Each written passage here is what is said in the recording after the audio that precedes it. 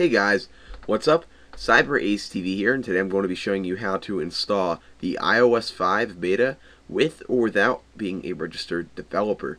Now, before I get started with this video, let me just state that I do not condone the piracy of Apple software, and so I will not uh, actually be instructing you on how to do it without a UDID. However, there will be a link in the sidewire, sidebar to where you can find uh, instructions on how to install it without a UDID. So, in the description of this video, there will be the links to download the software for various devices. These devices include the iPod Touch 3G, the iPod Touch 4G, the iPhone 3GS, the iPhone 4, the iPad 1, and the iPad 2. Any devices that are not listed below are not compatible with the iOS 5 operating system. So, basically, once you download these, all you have to do is go to your iTunes, plug in your device, and go to the little devices tab and go to this menu right here.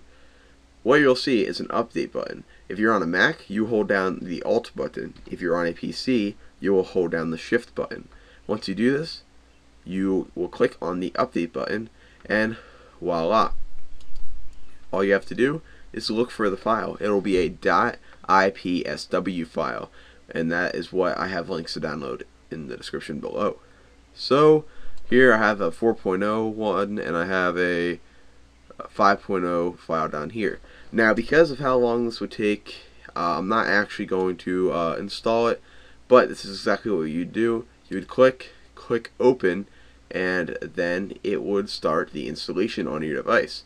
Once it was installed, as long as your UDID is registered, uh, your device will work fine. And if your UDID is not registered, then you should follow the steps in the link in the description below on how to do it without a UDID.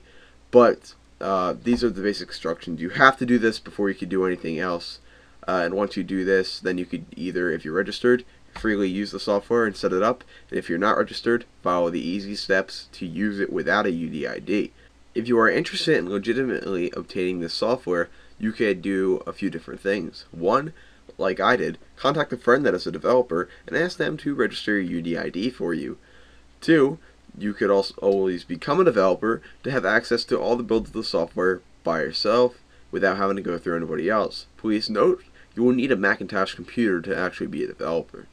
And your third option would be to pay somebody to do this. There's a lot of people out there that would probably love to take your money just to register some software that you could get in a few months for free anyway.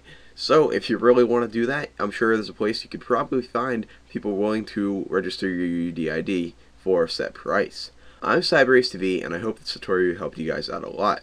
Hope you enjoy your iOS 5 beta software, and feel free to leave a comment below on what your thoughts on the software are. I'll see you guys later.